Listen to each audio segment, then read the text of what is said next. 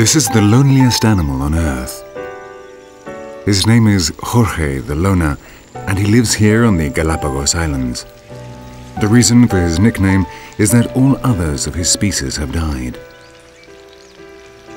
He is the only one left. Jorge is an example of the importance for all living beings of relations with others.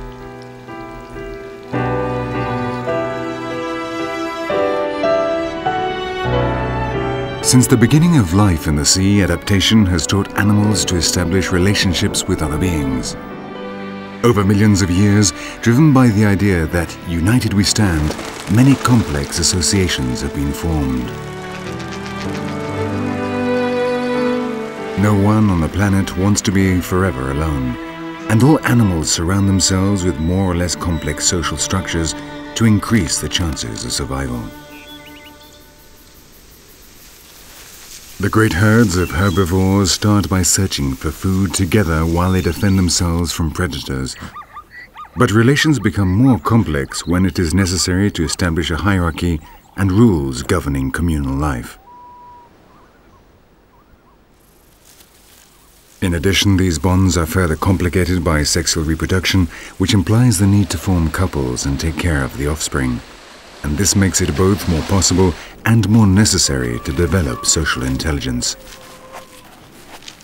Groups become more complex in order to defend themselves, but also to attack. Many fangs together can bring down larger prey, but that makes it necessary to be organized, to communicate, recognize each other, and share the meat. Conflicts need to be resolved as far as possible without killing each other.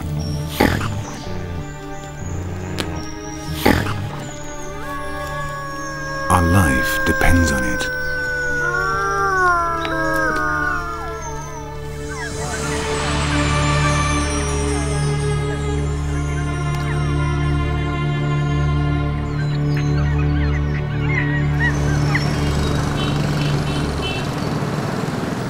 The human mind has created bonds even beyond the real world, seeking to communicate with superior beings who can help us explain the thousands of questions posed by our enormous brains.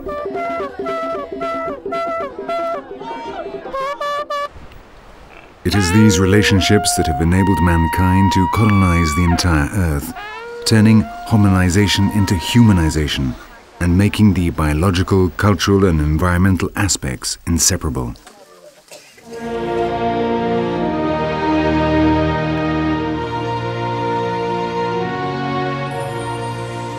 But let's start at the beginning.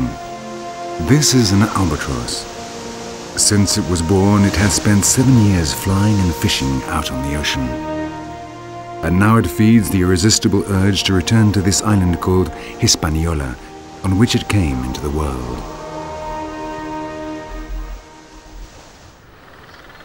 It needs to find a lifelong mate, a bond which may last for 50 years, so it's important to make the right choice. The males arrive first and wait. When they meet, a complex ritual begins, their way of demonstrating a commitment to sharing their genes till death do us part.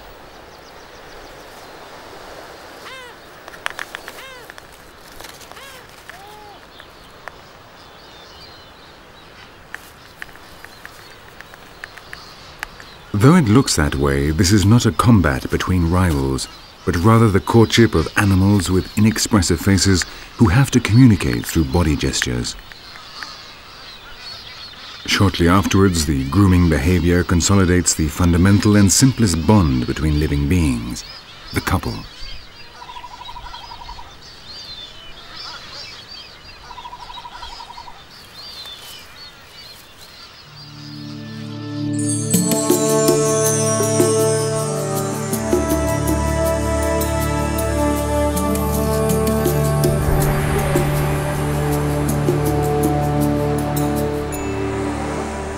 But some animals have developed reproductive strategies in which stable relationships play no part.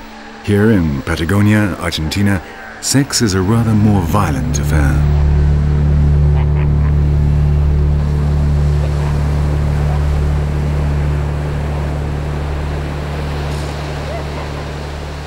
This male elephant seal weighs 2,500 kilos. He is capable of copulating with 100 females in a single season whether they want to or not. He has fought hard to win this beach, and he won't keep it for long. All of the females must have his children, so there's no time for seduction. Very few achieve such a privilege. He is a grade one male, and all the females want big, strong children like him.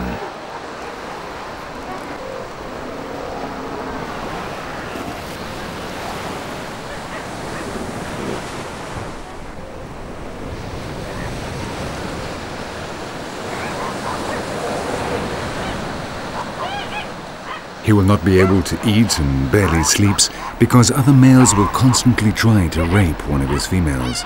And that means he will have to fight.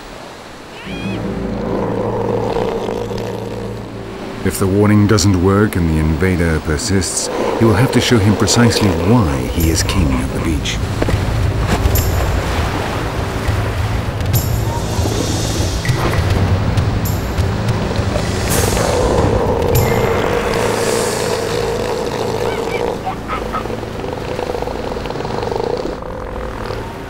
For the females, a short rest before continuing.